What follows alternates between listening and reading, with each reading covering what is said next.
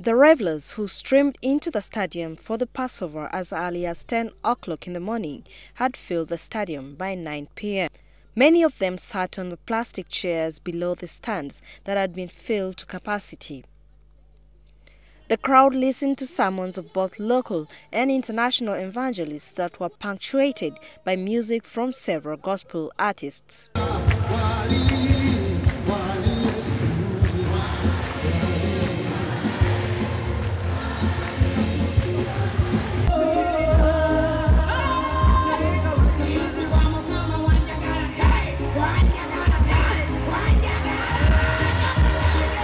As the clock ticked away into the new year, the crowd waving white envelopes broke into intense prayers accompanied by praise songs and dance. This continued as fireworks were displayed at exactly midnight, lighting up Nambole's skies and its environs for up to seven minutes.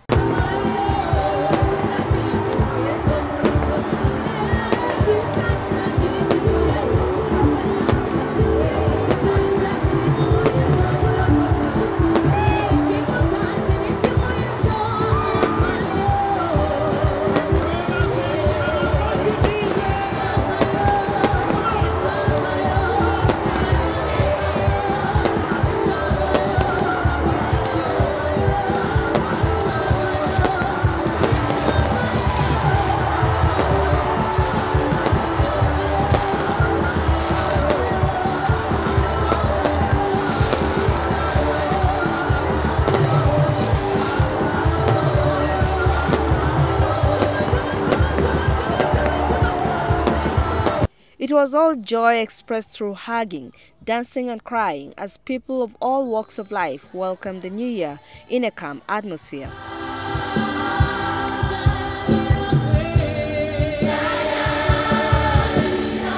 Although revelers generally felt that the past year was a hard year for Uganda, marked by tragedies of immeasurable magnitudes like the September blast at Kyaddondo Rugby Club, many looked at the year ahead with great optimism.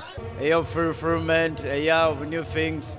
Uh, one thing that um, uh, I've been working on and what I'm expecting is uh, to become the president of Uganda. As we celebrate, uh, let's do it in a peaceful manner. Let's not go crazy.